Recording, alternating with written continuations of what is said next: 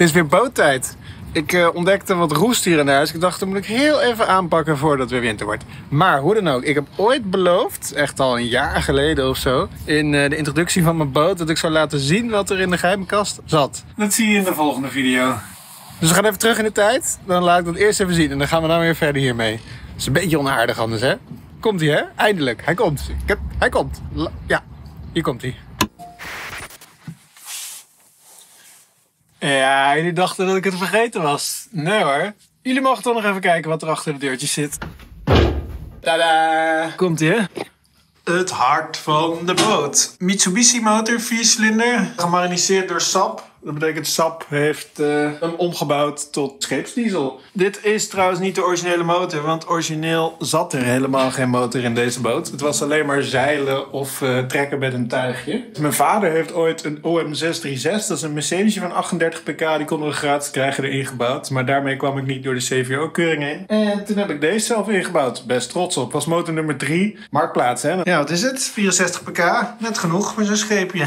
Dan hebben we hier de dieseltank. Dat is trouwens ook wel een leuk verhaal. Want die vond ik ook op Marktplaats. Ik dacht, ik kan hem helemaal zelf bouwen. Maar ik kan ook gewoon deels iets bestaans en dat een beetje aanpassen. En toen vond ik wat. En toen bleek die van een vriend van mij te zijn toen ik daar aankwam uit zijn schip. Geniaal. Dus daar heb ik een uh, waterslot onder gemaakt van een oude brandblusser. Nou ja, wat dingetjes aangepast, opgehangen. En uh, wat hebben we nog meer? Oh ja, deze is ook wel leuk. De intercooler. Die heb ik ook weer van Marktplaats. Die komt uit een oud douaneschip. Zekeringenkast, acculadertje, wierpot. Best wel simpel allemaal. Oh ja, deze is ook wel leuk. Ik heb uh, het motorbedieningpaneeltje tijdelijk in een kastje gemaakt ja, je weet hoe dat gaat met Daan en Tijdelijk. Daan en Tijdelijk is gewoon voor eeuwig. Maar deze kan je dus beneden aandoen. Maar hij heeft zo'n lange kabel. Je kan hem ook door de koekoek naar buiten gooien. En dan uh, kan je hem buiten bedienen. Automatische bielspot. Ja, mocht er toch water in het schip komen, dan... Uh pompt deze hem eruit. Dit is de stoppenkast. Die staat lijst om vervangen te worden. En dat was al wel een heel geknutsel, want ik wou namelijk een natte uitlaat. Dus dat die uh, koelwater van de intercooler bij de rook mengt. En dat je dus minder geluid hebt en minder stank. Alleen omdat mijn motor vrij laag ingebouwd was, zoals je kan zien, kreeg ik, als ik hier naar beneden ging en het water moet injecteren, kwam ik gewoon in het vlak van mijn boot uit. Dus ik heb eerst een stuk droge uitlaat gemaakt. Dat hier omhoog. Jup. En dan injecteert hij hier zijn water. En dan, kijk, wordt het rubber. Hebben we hier een uh, flow waar dit water met de rook mengt. Nog een zwanenhalsje. En dan gooit hij het hier naar buiten. Het is wel leuk, hè? Je ziet nog helemaal de kont van het schip. Ook al veel aan gedaan, hoor. Mijn vader heeft helemaal berghout erop gelast. Kijk, hier allemaal stroken erin. Hier ook. Kijk, is allemaal nieuw. Nieuwe boulders, heel nieuw dek. Het was allemaal weggerold. Ja, boot hè, oude boot. Uh, ik ga hem voor jullie even starten, dat is wel leuk toch? Dus we gieten er even wat water in en dan uh, kijken of we het nog doen. Een keertje lopen en een beetje warm worden kan ook geen kwaad. Kijk, zo'n motor heeft een impellerpomp, maar die zijn niet zo goed in uh, water aanzuigen. Moet natuurlijk helemaal omhoog. Deze staat boven de waterlijn. Nou, dan moet je hem gewoon even vullen. Oh, nou, dat viel me mee. Ging sneller dan gedacht. Of zit er lucht in? Misschien moet ik hem één keer rond laten gaan. Dan uh, trekt hij er wel doorheen. Oh, hij heeft natuurlijk wat lucht nodig. Nee, dan loopt het eruit. Hmm, verkeerde kant op. Nou, laten we hem gewoon heel even rondgaan, de motor. Even kijken. Deze aan. Die is aan. De sleutel van de motor. Even kijken. Ja. Dieselkraan. Nee. Nou, even boven kijken. Nou, dat is de noodstop, die zat vast. Ja. Als ik deze gewoon even rond laat gaan zonder te starten... dan zou die het water door moeten spoelen. Komt-ie. Zo, mijn accu heeft er niet zo zin in. Ik weet niet of hij dit gaat redden. Nou ja, we gaan het zien. Vlakkraan open. Daar gaan we. Heel benieuwd of de accu het volhoudt. Voorgloeien. Ik doe even lekker lang voor gloeien hoor. Want de accu is echt uh, een beetje aan het einde van zijn Latijn. Komt ie.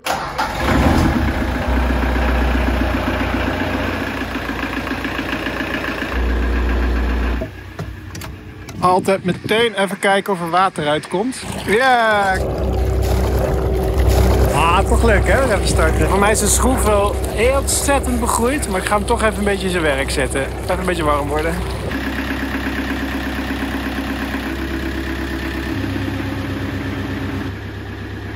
Beetje vet op de stoep af.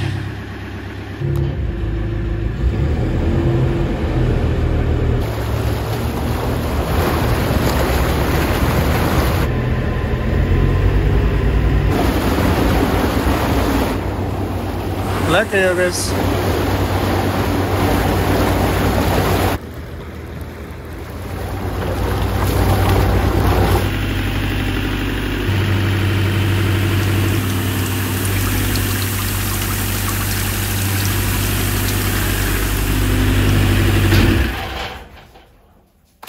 Oké, werd toch even te warm. Misschien te veel aangroei. Ah, jezus. Emmertje, emmertje, emmertje, emmertje. Emmertje, emmertje. Hmm, heb ik geen emmer. Rol wc-papier.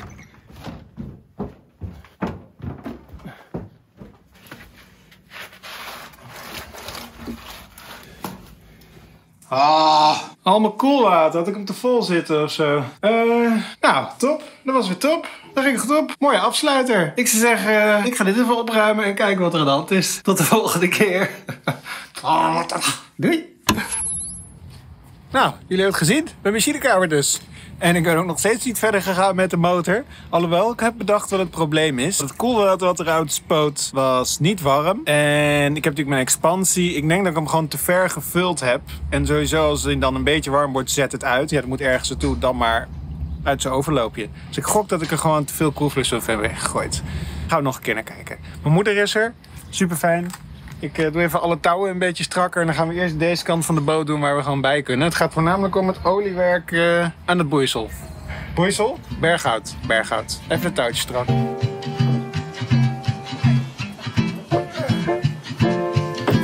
Beginnen al putjes te komen, maar als ik hier met zo'n scotchbrite overheen ga, is het goed genoeg om weer in de olie te zetten. Kijk, hier is hij wel echt bijna kaal weer. Ja, het valt nog mee. De onderkant heeft wel echt wat roest hier en daar. Misschien zetten we daar even de komborstel op.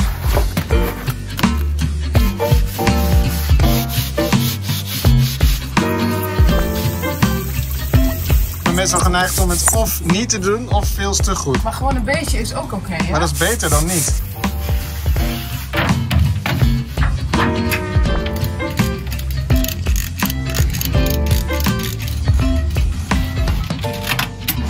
Twee spanbandjes. Er is lang geen daglicht bijgekomen. Hier, dit is ook nog de oude kleur van de boot. Vind je het ook leuke?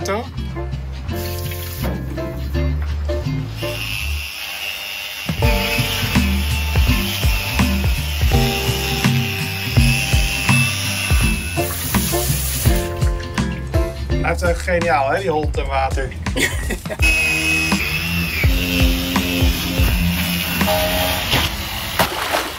Plotsie.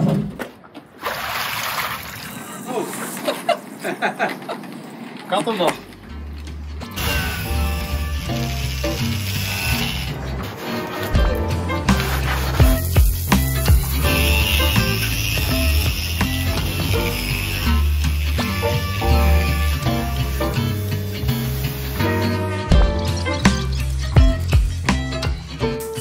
een slechte, slechte werkgever. Het is namelijk twee uur en ik had geen brood. We hebben nog niet ontbeten en niet geluncht. Sorry moeder. Gaan we nu even halen. Lunchie. Het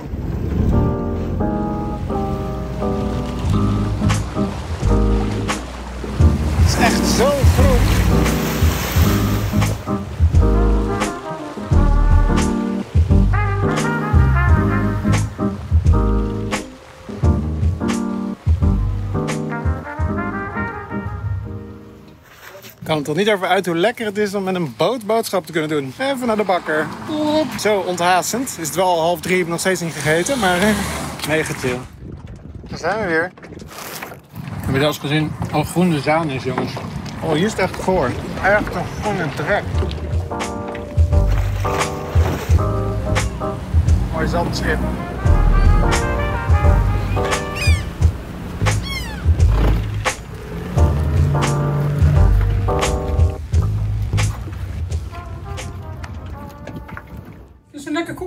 Zie je? Ja, ik vind het lekker, ja. Kijk, moeder had hardcakes gevonden in mijn uh, broodtrommel. Ja. Bewijs wel dat ik ze nog steeds eet. Tadaa! Oh, wauw, heel veel. Ja. Dit zijn altijd dingen die je eigenlijk niet filmen. Daan die een dop probeert open te kijken. is de kindersluiting, hè?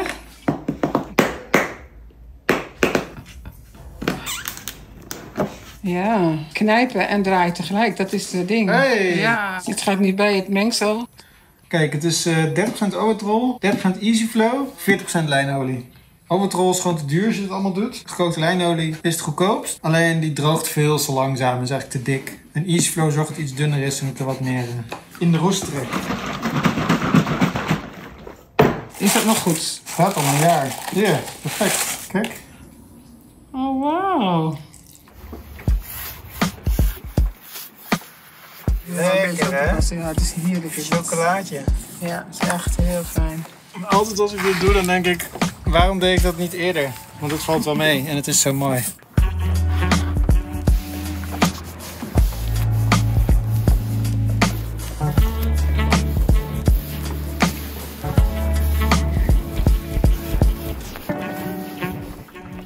Hier precies een voorbeeld waarom olie zo lekker is. Zie je die kier? Kijk, dat trekt er helemaal in. Dan kan je zo'n kier gewoon een paar keer je kwast legen. Het loopt er een beetje onderuit. Maar ja, met verf, dan schilder je dat is dicht. En dan eh, gaat het ertussen gewoon helemaal wegrotten.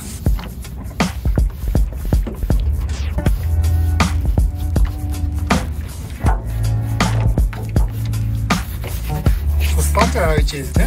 Mooi is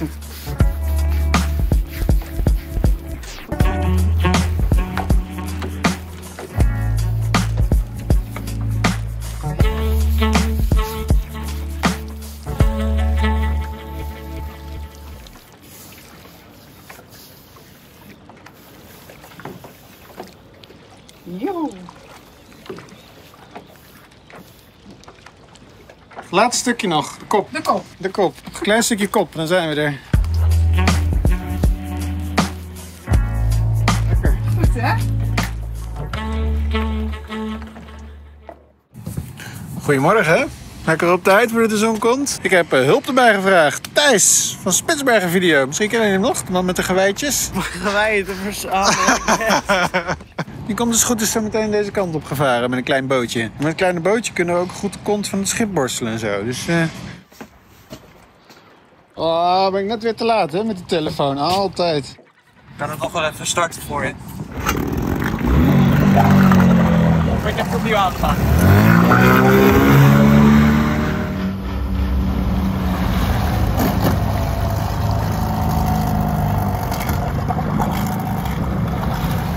Ja, weet hè?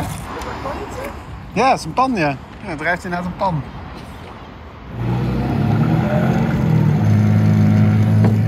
Het bootje doet het niet. Ah, ja. Ik heb wel een kijkje hoor. Ja, het klinkt als V8, hè? Zit er ook in. Zit er ook in, ja, kijk. Oh joh, Ja, dit is wel. eh dat is wel tanken. Dat is wel Heel vet. ja. Wat is het voor een boot? Het is een replica, maar het is zeg maar één op één eh Riva, nagebouwd. push. Nou, het Oh, maar het lijkt heel erg op een, eh op een, op een push. Heel vet. Ja, leuk hè. Ja. Wil je eerst een rondje varen? ja. Ik moest eigenlijk heel druk aan het werk, maar ik vind het wel leuk. Ik ben wel benieuwd. Maar dan pak ik extra content. Gewoon. eh, Ja, is leuk. Ja, is leuk. Dan pak ik ook een microfoontje bij.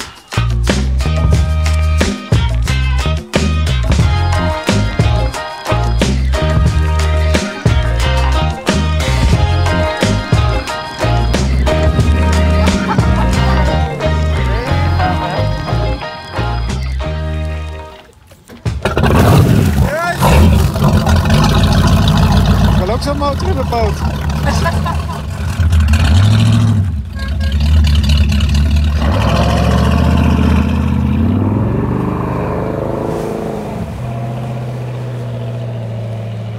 Ja, dat was leuk, hè? Oké, sorry jongens, jullie hebben een video met halve audio. Ik weet niet wat er weer gebeurde. Ah, ja, we gaan aan het werk. We moeten aan het werk. Ja, het was wel echt leuk. Leuke afleiding. Ik dacht één keer in mijn leven, ik sta op tijd op. Dan hebben we wat gedaan vroeg. Oké, dan gaan we. We gaan even dit vlot eh langs zij leggen.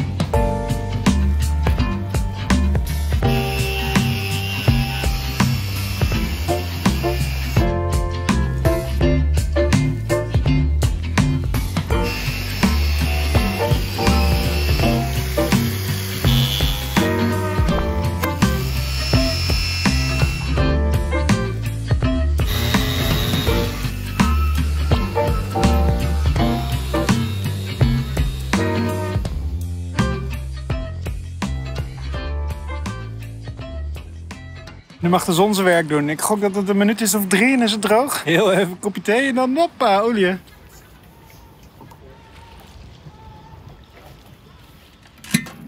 Oh.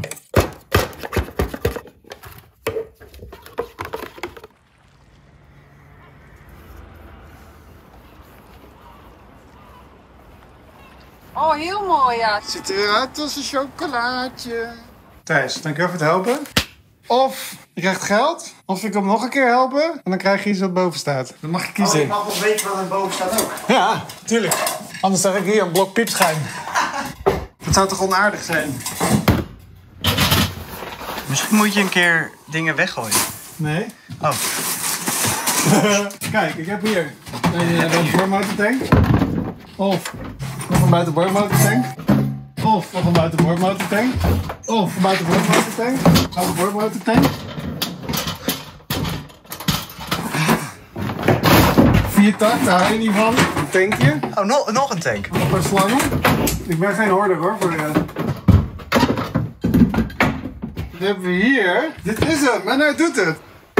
Yamaha, tweetakt. 10 pk. Ja, Ja. het is aan jou. Jij mag het eh, bedenken. Ik denk dat ik het al weet. Ja? Daar kunnen we mee spelen. Daar kan je mee spelen. Dat is leuk. Ja. En ik heb hem getest, hij doet het ook gewoon. Wat valt eruit? Oh, de choke. Is je show. Oh, de choke doet het niet. Oh, sorry. Dat wist ik niet. Nog een project. Leuk. maar we kunnen hem gewoon nog zo showen hoor. Oh ja, dat was het misschien. Ja, ja. Even kijken, dat moet dus. Dit ziet er wel zo uit, toch? Of niet? Soms lijken ze net allemaal op elkaar. Oh, kijk. Nee, dat is niet. Volgens mij is dit Honda. Het komt helaas altijd best wel precies. Ja. 100%. Ja? Deze komt over van de Mercury van mijn vader. Dan is dat... Is dat ook Yamaha? Maar dat, ik weet dat deze van de Mercury van mijn vader is, maar je mag hem proberen. Oké. Hier. Goedemorgen jongens. Ja, weekend. Oh, geoliede boot. Kijk al die waterdruppeltjes, is even mooi. Op die verse olie liggen. Hoe? Ja, gaat dan net goed, denk ik. Het was gisteren een beetje laat. Je wil echt geen vocht in je olie hebben, want dan slaat die wit uit. Maakt niet heel veel uit, alleen is gewoon een beetje jammer van de kleur. Ik ga het eh, vlot weer even terugbrengen.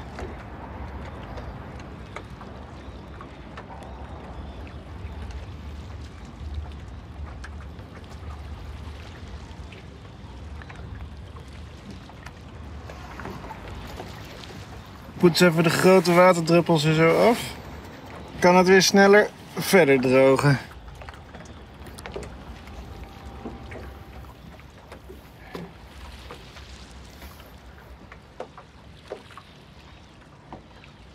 Dat is ook echt belangrijk, hè jongens. Af en toe gewoon heel even zitten en genieten van wat je gedaan hebt. Je bent altijd geneigd om hup, door te gaan naar het volgende project. Maar gewoon even zitten en kijken naar je harde werk.